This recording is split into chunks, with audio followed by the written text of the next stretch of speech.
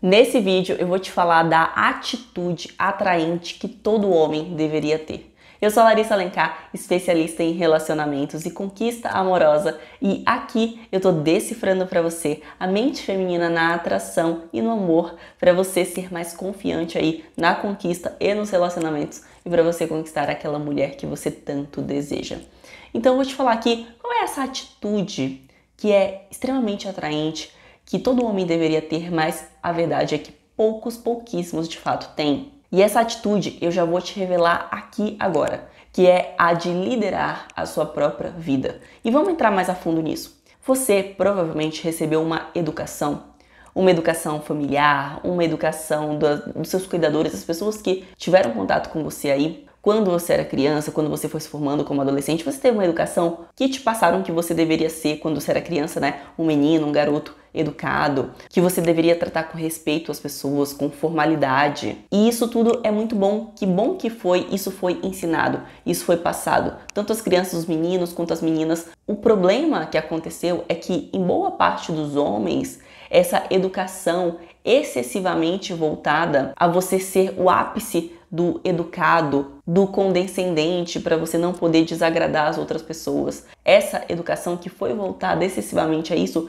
acabou puxando para um polo que não foi um polo de você saber ser educado, mas ao mesmo tempo saber se impor. Em muitos homens, e possivelmente esse seja o seu caso, isso puxou por um lado quase que de uma certa castração de, de atitudes, de expressão de si mesmo, expressão de vontades. E aí o resultado disso é que muitos homens hoje não construíram a habilidade de liderar a si mesmo e, por consequência, conseguir de alguma forma liderar os outros, liderar a própria família, liderar uma equipe, liderar, quem sabe, um grupo de amigos. E qual é o maior sintoma que mostra que possivelmente você está puxando para esse lado, que é esse lado passivo, esse lado medroso, esse lado que não consegue se colocar na vida, que não consegue se liderar. Qual é o sintoma que você foi para um polo de passividade em relação a si mesmo?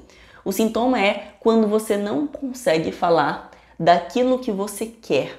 Você não consegue falar eu quero. Talvez falar eu quero em diversas situações para você pareça muito forte, você não sinta confiante o suficiente, então você pode usar ah, eu gostaria de te ver, eu gostaria de te encontrar. Você poderia ir lá comigo? Seria possível você ir comigo? Esses aqui são sinais sinais de que você não consegue ter uma comunicação mais direta de liderança em relação a si mesmo.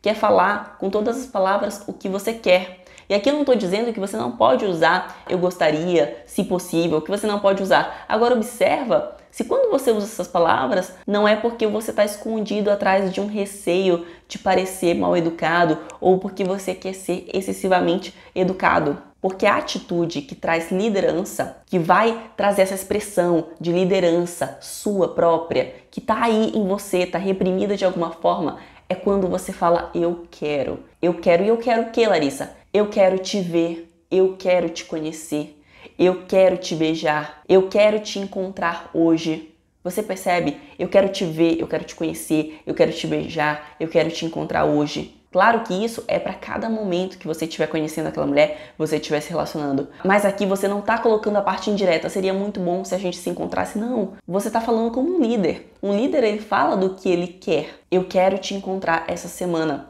Você percebe como isso é potente? Isso é forte? E você não precisa se desculpar por você dizer o que você quer, você expressar. Quando você falar de algo que você quer, você está falando do que você quer. Você não está obrigando ninguém a nada. E é claro que você não vai dizer eu quero te beijar para uma mulher que você acabou de conhecer do nada. Não é isso. Mas nos momentos apropriados, na hora que chegou, por exemplo, o momento de você chamar aquela mulher para sair e você diz o eu quero te ver, isso mostra essa liderança. Isso mostra que você é dono das suas vontades e você tem coragem de expressar essas suas vontades com bastante clareza. Às vezes, quando você tem isso castrado, essa sua expressão pessoal, você nem consegue chegar em um restaurante e olhar para o cardápio e falar: "Ah, eu quero o prato X". Às vezes nem isso você consegue. Você chega e fala: "Você poderia me trazer?" E não tem nada de errado. Não tem nada de errado com você falar poderia, gostaria, mas observa se você fala dessa forma porque é o seu natural ou porque existe algo dentro de você, alguma expressão pessoal que está castrada, de você colocar à tona a sua expressão, colocar o que você quer. E isso aqui não é só com a mulher, é para tudo na sua vida. Se acostume a verbalizar, colocar para fora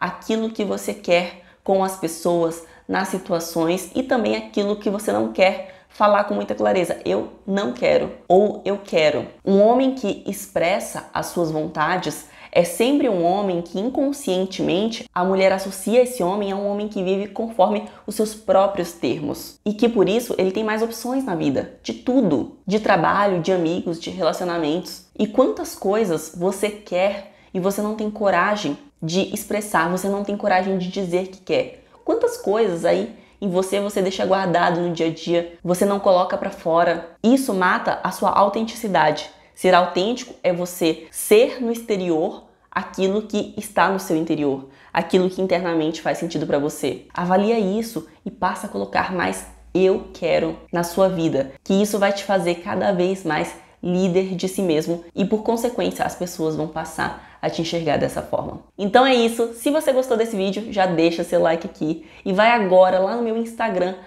@decifrandoelas, que lá também tem muito conteúdo de valor para você. Grande beijo, até a próxima.